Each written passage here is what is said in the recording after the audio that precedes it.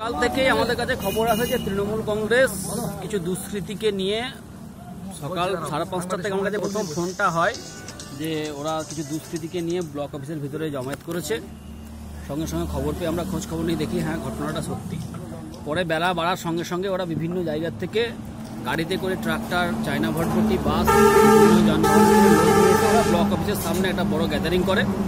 এরপর নির্দিষ্ট সময় আমাদের কর্মীরা, আমাদের প্রার্থীরা নমিনেশন করতে গেলে ওরা আমাদের প্রার্থীদেরকে ঢুকতে দেয়নি বাধা দিয়েছে।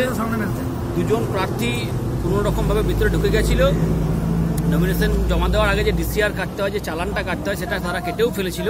কিন্তু ওখানে তৃণমূলের তিনজন দুষ্কৃতী জামাল কামাল এবং পাঞ্জাব। এই তিনজনে আমাদের ওই দুজন ক্যান্ডিডেট এবং তাদের যারা প্রস্তাবক সমর্থক ছিল তাদেরকে পুলিশের মেজবাবু জাইদুলের সামনে মেরেছে। জাইদুল ইসলামের সামনে মেরেছে। জাইদুল ইসলাম ওদেরকে বলেছে আপনারা চলে যান। পুলিশ ওদেরকে কোনো প্রোটেকশন না দিয়ে ওদেরকে বাড়ি পাঠিয়ে দিয়েছে ওইভাবে অত জনতার মাঝখানে ওদেরকে ছেড়ে দিয়েছে। পুলিশ কি তৃণমূলে দালালি করছে? পুলিশ তৃণমূলে দাঁড়ালি করছে সেটা তো সারা রাজ্য জুড়ে প্রত্যেকটি মানুষই দেখতে পাচ্ছে।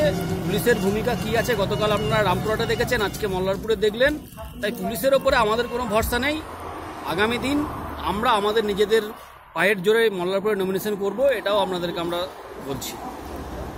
আজকে তৃণমূলের একটা অভিযোগ যে তাদের কর্মীদের মারধর করেছে বিজেপিরা। সম্পূর্ণ মিথ্যে অভিযোগ। এই অভিযোগের কোনো সারবত্তা নেই। বিজেপি কর্মীরা যদি মারধর করতো তাহলে তো বিজেপি কর্মীরা বিডিও অফিসের ভেতরে ঢুকি নমিনেশন ফাইলটা করতে পারতো। এ সম্পূর্ণ তৃণমূলের মিথ্যে অভিযোগ এগুলো। কোনো রকম এই অভিযোগের কোনো সত্যতা নেই। কি না আপনার? আমার নাম অপূর্ব চ্যাটার্জি। কোন দায়িত্ব আছে আমি জেলা সম্পাদকের দায়িত্বে আছি।